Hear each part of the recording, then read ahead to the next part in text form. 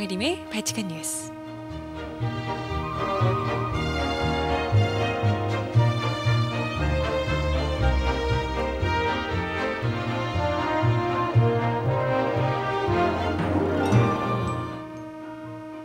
여러분 안녕하세요. 발칙한 뉴스 정혜림입니다.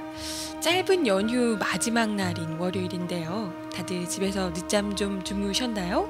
아니면 석가탄신일 맞이해서 어떻게 근처 사찰에 나물밥이라도 드시러 가실 계획인가요?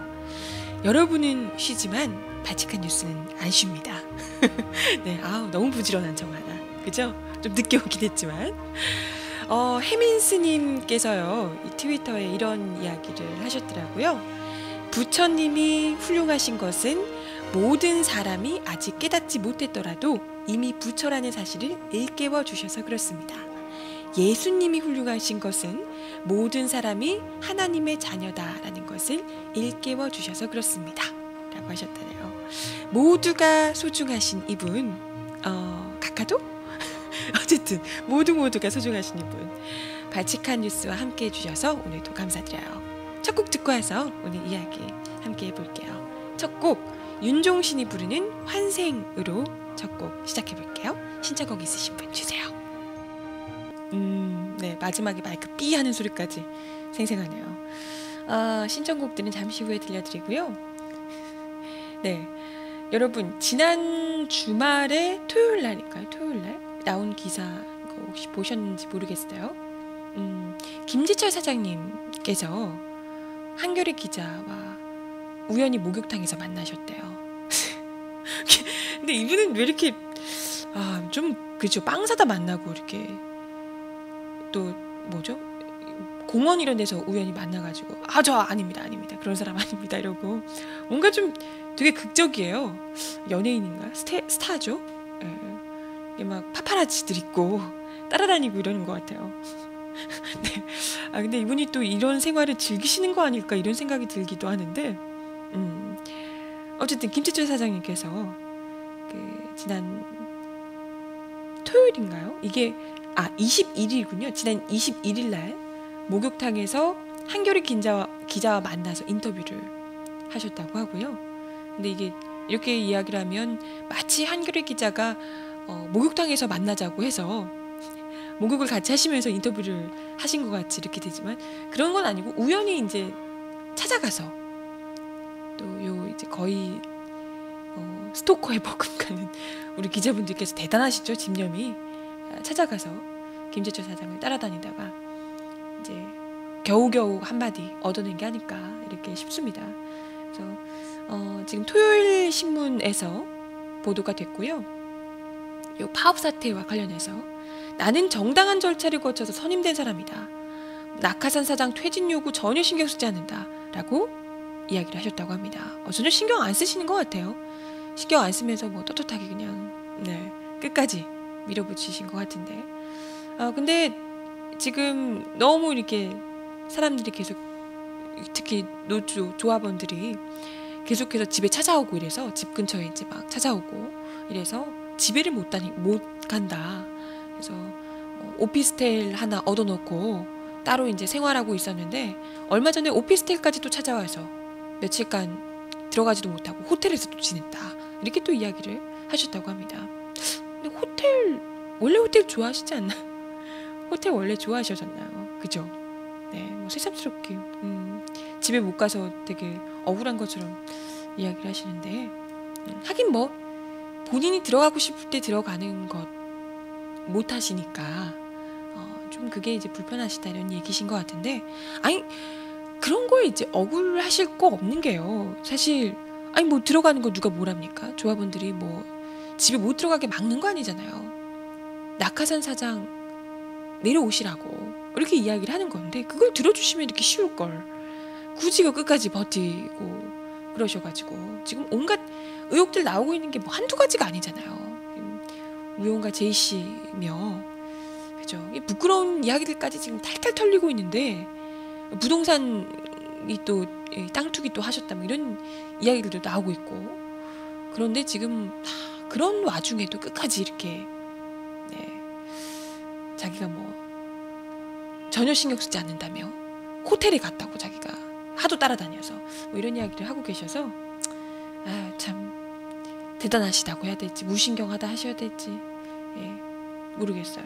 근데 뭐 그런 이야기를 하셨다고 하네요. 지금 MBC 보도 공정성이 후퇴됐다 이런 지적을 이제 하고 있는 것 관련해서 내가 사장이 된 뒤에 보도국이나 다른 부문 부장급 인사 거의 만난 일 없다. 그러니까 자기는 안 했다는 거죠.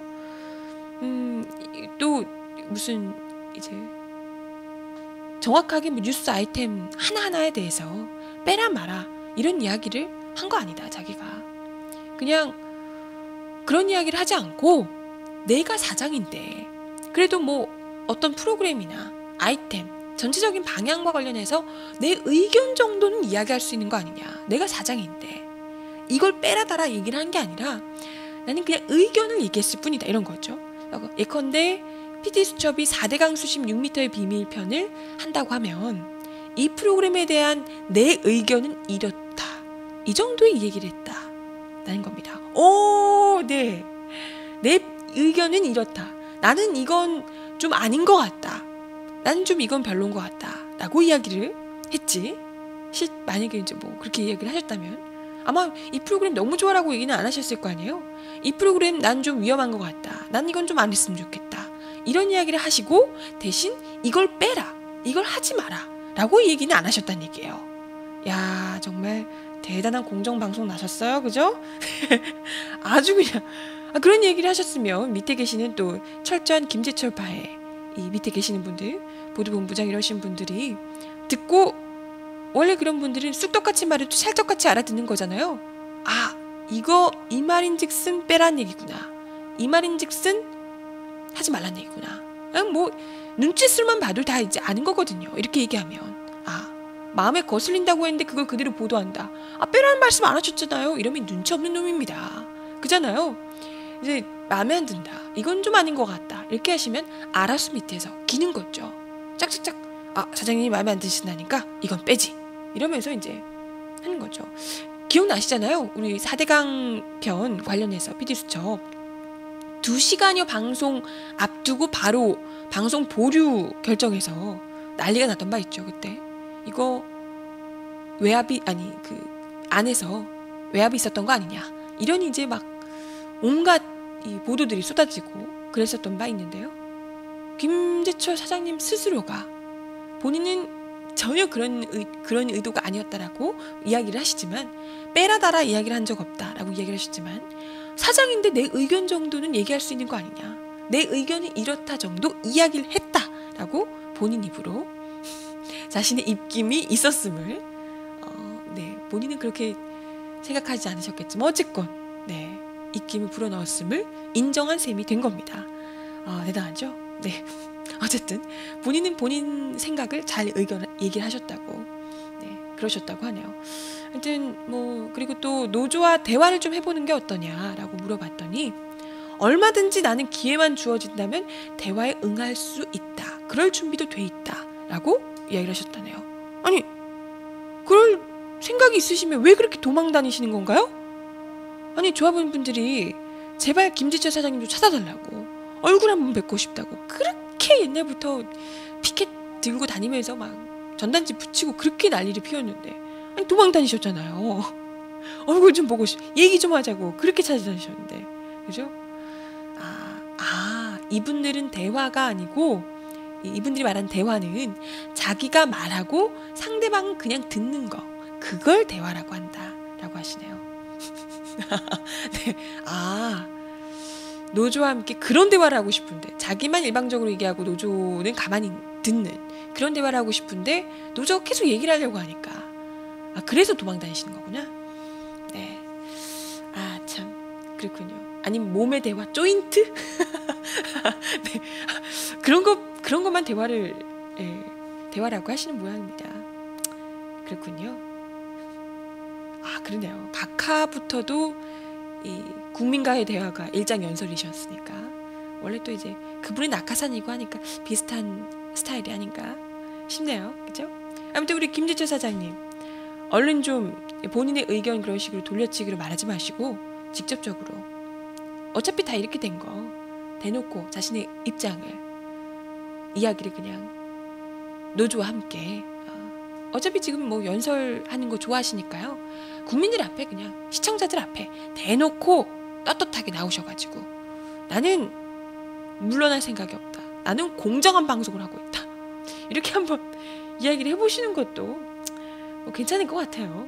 예, 그리고 이제 뭐 전 국민을 상대로 이 조인트를 맞는 이런 것도 괜찮지 않을까.